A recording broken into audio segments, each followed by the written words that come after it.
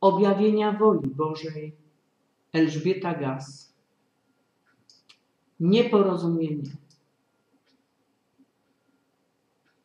Uważacie ludzie, iż Stworzyciel powinien zabiegać o wasze względy, starać się o to, abyście wierzyli, starać się wam dogadzać, dać wam wszystko, co tylko się wam zamarzy, łącznie z wygraną w totolotka.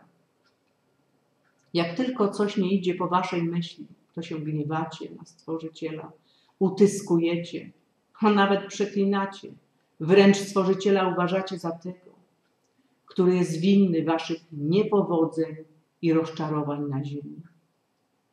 Pycha i zarozumiałość ślepo wierzących przekroczyła granicę przyzwoitości, czystego zachowania i prostego. Gdyż rozum wymyśla różne pułapki, aby zbrukać ducha i duchową moralność. Popadacie w wielki samozachwyt, samouwielbienie. Myślicie, że jak chodzicie do kościoła, tam na kolanach klęczycie i ręce złożone do góry wznosicie, to wystarczy, aby powiedzieć, że jestem wierzący. Wy, rozumowcy, stając przed Stworzycielem, żądacie natychmiastowego spełnienia waszych próśb, żądz i żądań ego. Nic z was nie obchodzi, prawda? Włożyliście w usta Jezusa Chrystusa słowa i zdania, które wam pasują. Nigdy Jezus Chrystus nie wypowiedział tych słów ani zdań. One są dla was tylko po to, abyście siebie usprawiedliwili i swoje niewłaściwe uczynki oraz nasycili pochwałami swoje ego. To nieporozumienie musi zostać ostatecznie wyjaśnione. Nie ma Stworzyciel potrzeby o was zabiegać, ani was przekonywać, gdyż to wy jesteście zależni od Stworzyciela, a nie odwrotnie.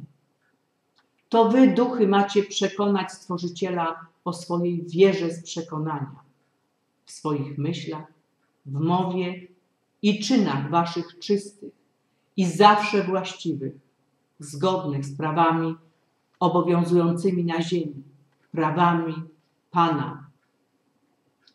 Prawa ziemskie są tak zagmatwane i rozumowe, iż nawet prawnikom niełatwo je zrozumieć i nimi się posługiwać.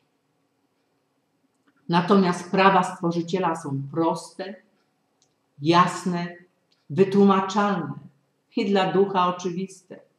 Tylko rozum je gmatwa i plącze, gdyż rozum jest narzędziem ciemności.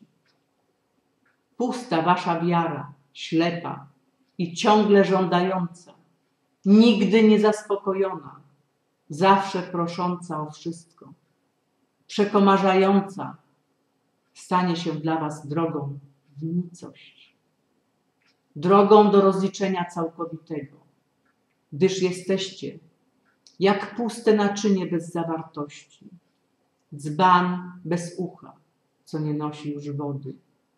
Nie macie życia w sobie, tylko martwota w was. Kościelna, ślepa wiara, że zostaną wam grzechy odpuszczone, że będziecie święci, to tylko pożywka dla ego i dla waszego rozumu, żebyście przyszli do tego przybytku i przynieśli pieniądze. Nic takiego się nigdy nie wydarzy, gdyż święty jest tylko Stworzyciel i żaden ludzki duch nie będzie nigdy święty. Żaden ludzki duch nie ma takiej mocy, aby wam grzechy odpuścić. A spowiadacie się tylko po to, aby was kontrolować i wami rządzić. Zamykają was na odbieranie energii i na odczuwanie duchowe. Ale czy tam chodzić będziecie, to tylko i wyłącznie wasz wybór. Sami musicie odczuć sobą duchem i zrozumieć, jakbyście tam nie chodzili nie byłoby tego przybytku i tylu kłamstw. One są, bo wy je przyjmujecie bo i wy tolerujecie i przyzwalacie na kłamstwa. Stworzyciel jest wszędzie tam, gdzie jesteście. Przejawia się we wszystkim, co stworzył. Nie musicie nigdzie chodzić, aby podziękować Stworzycielowi za to, co otrzymujecie, aby wysłać w słowach uczucia do Stworzyciela, aby wyrazić swoje zadowolenie i radość. Z każdego miejsca możecie je wysłać. W żadnym kościele nie ma Stworzyciela, gdyż te miejsca nie powstały z woli Stworzyciela, tylko z rządz rozumu ludzkiego, z chęci manipulowania i rządzenia ludźmi, chęci zarabiania pieniędzy i wygodnego życia tych, co tymi przybytkami zarządzają. Nieporozumienie wynika stąd, iż Jezus Chrystus nie nakazał i nie rozpoczął chrześcijaństwa ani katolicyzmu. To wymysł kapłanów po zamordowaniu części Pana Jezusa Chrystusa dwa tysiące lat temu. Obecnie prawda musi już dotrzeć do każdego ducha będącego na ziemi. Prędzej pozostaną na ziemi po wydarzeniach niewierzących niż ci, co ślepo wierzą w Kościół i myślący, że dobrze czynią. Ta ślepa wiara zawiodła ich w pogańskie i ciemne rytuały, a szatańskie znaki na kościołach sięgają i ściągają ich w przepaść. Sami ci ludzie dają się przez kościelnych prowadzić. Rozum wasz chce usłyszeć hymny pochwalne na swoją cześć.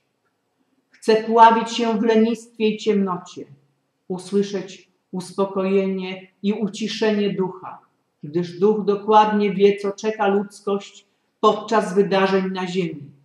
Dlatego jest was taka wewnętrzna szarpanina. Nieporozumienie wynika z waszej zgody na takie traktowanie i wasza zgoda na okłamywanie was. Gdyby dziś uderzyła asteroida w Watykan, powiedziano by wam, że to ciemności atakują, a nie powiedziano by wam prawdy, że to skutki zwrotne ich działania. Stworzono by męczenników i kolejnych świętych, na litości chcieliby kłamiąc przejść w przyszłość do królestwa tysiącletniego, a to już niemożliwe. Koniec kłamstwom raz na zawsze. Człowiek na ziemi będący nie jest boski i nigdy nie będzie. To zwykłe bałwochwalstwo. Nawet nie jest cząstką Pana, jest w stworzeniu i jest częścią stworzenia. Oto prawda o tym, co mówicie i czynicie. Pytacie w swojej nieznajomości praw Pana, gdzie miłość Pana, miłość do stworzenia. Jak ma nastąpić cierpienie poprzez wydarzenia, poprzez żywioły, kataklizmy. Pytacie, czy Stworzyciel kocha człowieka, jak wyrządza jemu tyle krzywdy. To nieporozumienie, gdyż Stworzyciel nie karze i nie nagradza. To są dla was skutki zwrotne waszego myślenia, mówienia i czynienia na ziemi. Nieporozumienie tkwi w kłamstwach, jakimi daliście się duchy mamić przez tysiąclecia. Tu i teraz zostało wam zapowiedziane. Musi zostać wszystko wyrównane. Nareszcie na ziemi będzie królowała duchowość, prawda i miłość duchowa. Wszystko, co materialne, wróci na swoje miejsce i przestanie być celem ducha